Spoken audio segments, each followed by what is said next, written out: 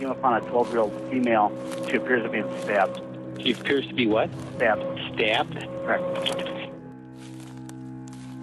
Hi, sir. So, is are you with this 12 year old female? Yeah, she says she's having trouble breathing. She said she was stabbed multiple times. Who did that to you?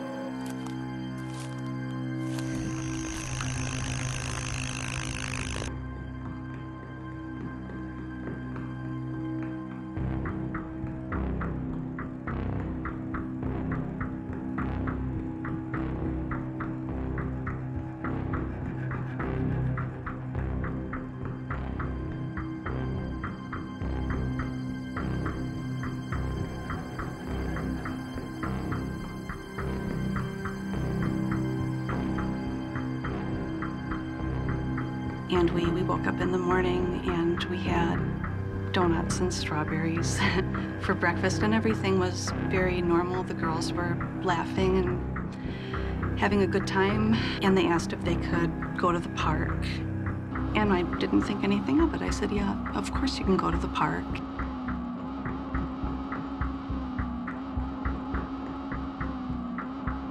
I told Bella we were gonna play hide and seek.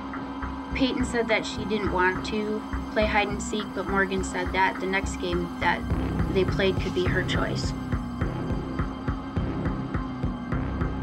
Payton said that Anissa pulled her deeper and deeper into the woods.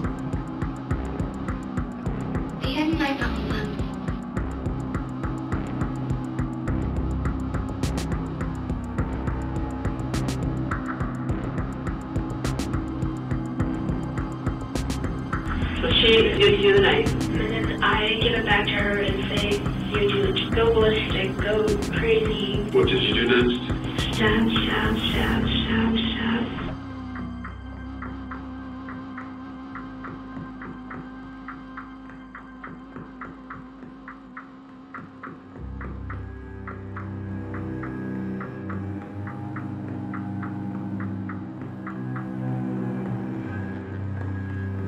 Payton somehow survived. She crawled out of those woods. A bicyclist found her on the sidewalk, covered in blood and begging for help. And you were biking by, and she says to you what? Could you help me, please? I've been stabbed multiple times. I quick got out my cell phone. I was shaking. When asked who attacked her, she said, My best friend.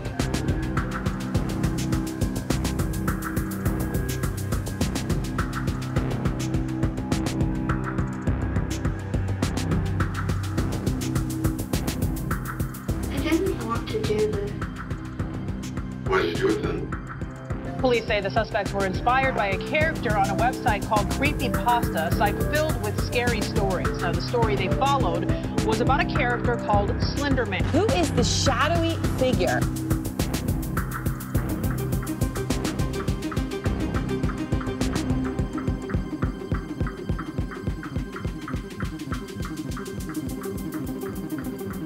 He anywhere from 6 feet to 14 feet tall. He constantly wears a suit. He doesn't have a face. His skin is white. And at his own will, he can, um, like, exploit these tendrils from his back. And, uh, like, strangle his victims. He watches you. How does he watch you? He can read minds and he has teleportation skills. Morgan and Anissa not only believed in Slenderman, they wanted to prove to the world he was real. Morgan said, hey, Anissa, we should be proxies. I was like, okay, how would we do that? She indicated that in order to become a proxy of Slenderman, you needed to kill somebody to prove yourself worthy to him. I was excited because I wanted proof that he existed. Why did you decide to stampede? It was necessary.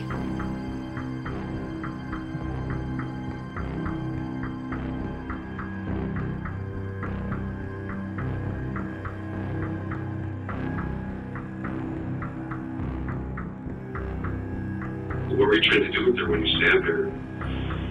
Kill her. I might as well just say it. We were trying to kill her.